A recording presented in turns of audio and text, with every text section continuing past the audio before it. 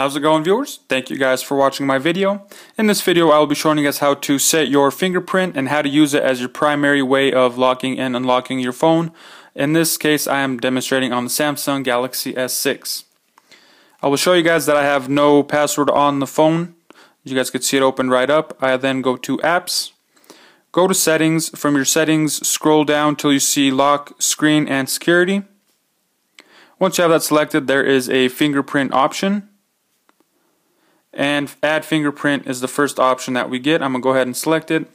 Place finger on home key, lift it off, then repeat. Move finger upwards and downwards slightly between attempts. And at this point, once you have it down, it says lift your finger off the home key. I will lift it off and get another print going.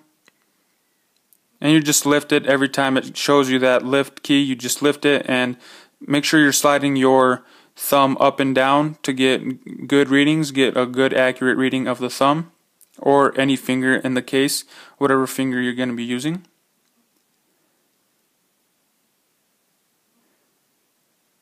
I would also recommend having clean fingers to do this so there's no dirt or mud that can later on interfere, make it more of a hassle to get the fingerprint working once you have it set. And I've been going up and down and now I'm just kind of rotating my thumb sideways. And as you guys can see it kind of gave it higher percentage of increases. And then now that the first part is done it is it is saying place tip of the same finger on the home key then lift it off again. If adding thumbprint refer to guide image. Go ahead hit continue. And just the fingerprint the actual tip of the finger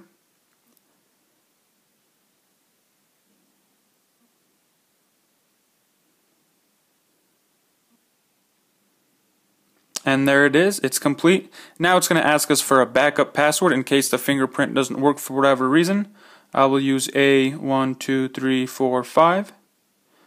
It has to have a letter and a number. I think I just messed up there. A1234 has to be six digits, letter and a number.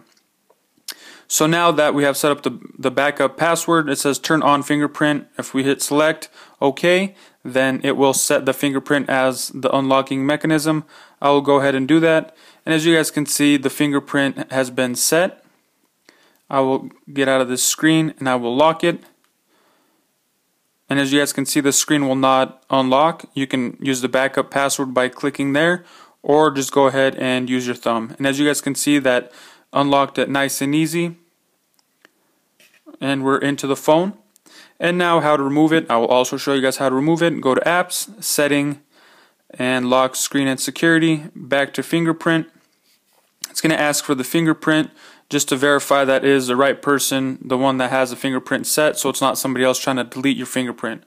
Um, once you are here, select more, then hit edit, select the first fingerprint, and then remove and it says the fingerprint uh, is will one fingerprint will be removed. The screen lock type will be changed to swipe.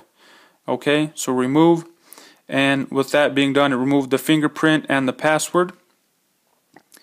Went back back to swipe, so that is back to regular to what I had it before I had set the fingerprint. So that is how you set and use the fingerprint lock on the Samsung Galaxy S6. Hope you guys found this video helpful. If you did, give me a thumbs up. If you have any comments, questions, or concerns, go ahead put them in the comments section below. I appreciate you taking your time out of day to watch this video. Thank you and have a nice day.